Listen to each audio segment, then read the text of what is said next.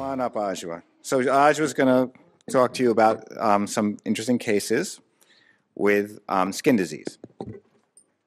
Thank you, Dr. Cohen. Great job on whoever answered that trivia question.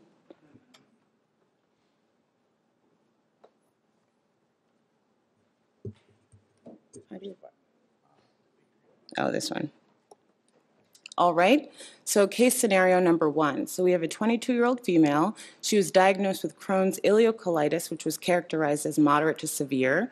She also has a prior history of psoriasis that's been persistent despite topical therapies. Uh, her disease, her Crohn's disease, has persisted despite the use of budesonide and azathioprine. Uh, she's had a colonoscopy that revealed active inflammation in the ileum and in the right colon. Her MRE showed similar findings, but and there was no evidence of obstruction. So you asked her to come in to discuss initia- initiation of a biological agent to treat her Crohn's disease. Case scenario number two. So we have a 43-year-old female with Crohn's disease who presents with diarrhea and a rash. In 2009, she first developed weight loss and diarrhea. She had an EGD at that time that was consistent with uh, questionable celiac disease, and colonoscopy showed mild colitis. In December of 2017, she had a colonoscopy with pancolitis with ulcerations in the sigmoid colon, thought likely secondary to Crohn's disease. In January of 2018, she started on adalimumab and azathioprine. So in April of that year, she develops a flare of her disease. Her adalimumab trough level is checked and it's found to be low. She's dose increased to 40 milligrams weekly. And then later that month, her rash worsens. She goes to her dermatologist, and her rash is thought to be anti TNF induced psoriasis. Her punch biopsy is pending. In June of 2018, she comes into clinic with fever, diarrhea, and a rash. These are pictures of her rash. The top picture is her axilla, umbilicus, and then um, her perineal area. So there was a case series out of Boston in 2011 looking at uh, IBD patients who were treated with anti-TNF and developed psoriasis. So this case series included 30 patients who developed psoriasis while on an anti-TNF. 80% of these patients had Crohn's disease, 20% had ulcerative colitis. Uh, of these patients who developed psoriasis, 21 of them developed it while on infliximab, 7 on adalimumab, 2 on certolizumab, and then 5 of these patients had previously been treated with infliximab without development of psoriasis. And then the median time from start of the anti-TNF to development of psoriasis was 6 months. So I like this table because it kind of shows you what the outcomes were of these 30 patients. So on the left side, you'd see that about 21, 21 of these patients, or two thirds of them, responded to topical therapy. Of these patients, 14 were able to continue anti TNF without an issue. Uh, five of them were switched to a different anti TNF for non derm reasons. Of those people who were switched, one had recurrence and four were able to continue without issue. Uh, nine of these patients had poor response to topical therapy, and then the rest of that arm is um, similar to the left side. So this group combined their 30 patients with a review of 120 previously published cases of anti-TNF induced psoriasis in IBD patients on uh, TNFs. Uh, so they found that it was more common in women at about 70%. Uh, the most common distributions were palmoplantar at 43% and the scalp at 42%. Uh, 41% of these patients responded to topical therapy for psoriasis. 43% uh, required withdrawal of the anti-TNF therapy. And then 52% of those treated with an alternate anti-TNF ended up having recurrence of the rash. So back to our case, uh, the patient was diagnosed with psoriasis of the umbilicus, trunk, scalp, and axilla. She was treated with steroids for her Crohn's flare and then topical steroids for her psoriasis. The plan is to switch to ustekinumab for Crohn's disease maintenance as an outpatient. Okay. Perfect. Good job. Okay, so in these cases, the first one is someone with uh, uh, Crohn's who already had psoriasis, and the second one is someone who developed pretty severe, as you see, psoriasis while on anti-TNF therapy. And she was just just in the hospital recently, and she's doing uh, quite well. She just got her first infusion of ustekinumab. So uh, you've seen slides like this before. I'm not going to read through with you, but it talks about different approaches to treating Crohn's disease. I want to point out that uh, interleukin 12 up here and interleukin 23 actually share the same P40 subunit. And uh, highly successful uh, in, in uh, psoriasis and now Crohn's disease. You have some type of stimulus to the immune system. IL 12 and IL 23 are both very inflammatory cytokines. And um, when they reach um, the CD4 positive cells, they, they result in formation of interferon gamma and IL 17. And um, uh, is an, an, antibody, monoclonal antibody that blocks, it actually attaches to the P40 subunit. Uh, so that's why it's IL 12 slash 23, because it's really an anti P40 uh, antibody. And um, it blocks that process. And it's approved for moderate uh, plaque psoriasis uh, and now for Crohn's disease. And the dosing for Crohn's is different than psoriasis. We had a little problem with some of the insurance companies initially. But in Crohn's, we give an IV load, which is weight based. It's around six milligrams per kilogram. And then they get maintenance of 90 every eight weeks, not every 12 weeks as the psoriasis dosing. And um, this was data from the uh, the UNITI trials. Okay, so UNITI 1, these were people who failed anti TNFs or lost response. So they grabbed the bull by the horns. We were actually surprised. Usually, you know, you have a new agent trying to sneak in as an easy, easy case. Remember, everything we told you today is people with who failed anti-TNFs are harder. Their first trial, the UNITI One, they actually said you had to have failed or been resp- uh, uh, lost response to or SAE to an anti-TNF. And UNITI Two was that they were naive. And if you look at the data, so this is the, it's hard to read this slide. This is the, the week six and week eight data the IV dose that we end up giving is in blue. So in UNITI 1, so people who had failed anti-TNFs, six to eight weeks out, already remission rates was about roughly 20%, which is pretty good. Just, just that's after one IV dose. So one IV dose put 20% of the patients into remission. And if you're anti-TNF naive, up to 40% went into remission by week eight, 35 to 40, week six, week eight, with one IV dose. Quite, quite traumatic from one dose.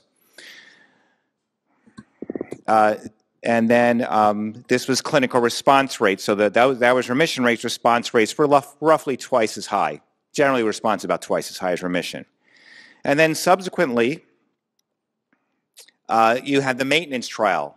So, like I said, the induction was just one IV dose, and then patients uh, were treated for about uh, for the rest of the year, roughly, um, uh, with uh, the maintenance uh, therapy. And the maintenance therapy was given either 90 milligrams every 12 weeks, which is in orange, which is what we do for psoriasis, or every eight weeks, which is in blue.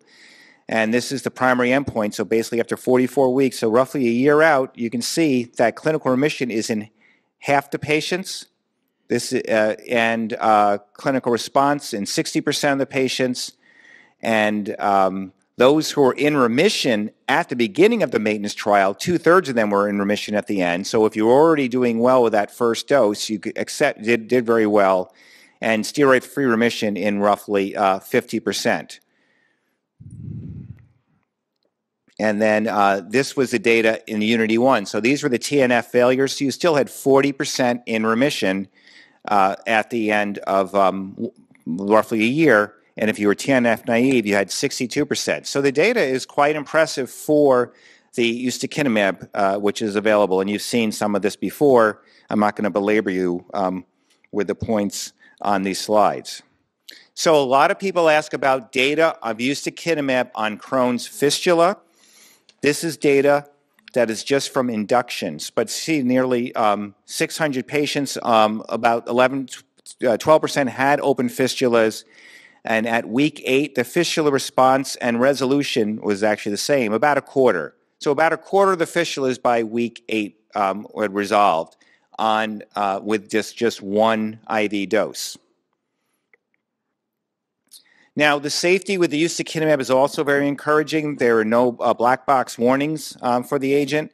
Um, the risks of um, any SAEs, um, headaches, neuralgia, nausea, etc., infections was the same between the drug and placebo. The only difference was that there were higher infusion reactions or injection site reactions with the drug than with placebo, which is expected, but still pretty low, so less than less than five percent.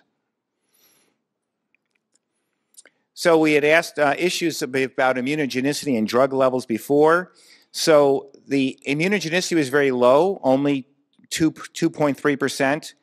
And just like every other study you've ever seen, higher trough levels, you have higher rates of remissions. And this is interesting. And this has actually been recently published um, uh, here in 2018. Combination therapy with ustekinumab and immune modulators did not impact drug levels and does not impact response. So right now, with ustekinumab, we don't have an indication where you would need to give an, a combination therapy, although you might choose to do so if you have someone who has already made antibodies to other biologics. And the gold trough level is, is around 1, uh, greater than, greater than 0.8. So you may remember that I showed you um, that uh, the IL-12 and 23 share the uh, P40 subunit. Well, there's also just IL-23's P19 subunit. And a few of these drugs that are in, in research studies or on the market for psoriasis um, block just the P19 subunit of um, the uh, IL-23. And what's interesting is in psoriasis, believe it or not, even though the same company makes the IL 1223 and the IL 23, they actually did a trial against their own drug and showed that the IL 23 blockade was superior to blocking the IL 1223. So blocking just the, the P19, IL 23 seems to be the key of the combination of IL 12 and 23, at least in psoriasis. And it's, it's interesting, bold, bold moves. Go after, go after your own drug that's on the market with a new one. Uh, I know they're braver than I am. I never would have done that. I would have. I'm a chicken. I'm like, oh, I'll go for the safe stuff. Uh, so this is Braz, uh, as uh, Dave showed a little bit earlier. This is um, week 12 data. The drug is in black, and the placebo is not. And you can see the drug rates are double that of the placebo. And when you look at clinical response and a 50% reduction in calprotectin or CRP, you see a huge difference. So this is very encouraging. Week 24 same endpoints also also very nice too. So remission rates, uh, 27, 20%, but you see um, good response rates and decreased inflammation. And then risankizumab, uh, we're just trying to make sure we make these as difficult to, to pronounce as possible. Um, the pool data is the dark blue with the drug. Uh, this is the higher dose of the two, and the gray is, is placebo. You can see that these outcomes, which is hard to read, this is clinical remission, this is clinical response. You can see here looking at remission rates uh, up to 36% and response rates 41% uh, with this with this uh, drug too. So uh, the good news is is that these are uh, agents, some of which one of which is on the market, and others which hopefully will be on the market uh, for psoriasis and hopefully for Crohn's disease. They're also undergoing clinical trials in ulcerative colitis as well. So it's kind of fascinating that um, while we were targeting IL-12 and 23, it turns out the IL-23 targeting, at least in the skin disease, is superior, and we'll see about with, with, um, with IBD. So just as a summary, so ustekinumab is FDA approved for moderate severe Crohn's disease and plaque psoriasis. This is indicated for both of our patients because one of them had psoriasis and it failed steroids or an immune modulator or anti-TNF. They didn't fail the anti-TNF. The other one developed the psoriasis, bad psoriasis, um, on the anti-TNF, and despite being on steroids, was still very sick. Um, there's no very low infection rate. There's no black box warning, and and make sure you give the Crohn's dosing, just to make it a little more fun for people. If you don't already know this, you actually have to get approval usually separately for the IV and the injectable dose because the IVs paid off the medical benefits and the injectables paid off the pharmacy benefits. Um, when the drug first came out, since it was already on the market as an injectable for psoriasis, we usually got the injectable approval right away, but you have to give the IV dose first. Um, it seems things have been smoothed out, and for many of the insurance plans, you actually can use that as your first biologic if patients qualify with moderate severe Crohn's disease. So thank you for your attention for this, and uh, thank you, Adjoa, for, um, for being here for this presentation.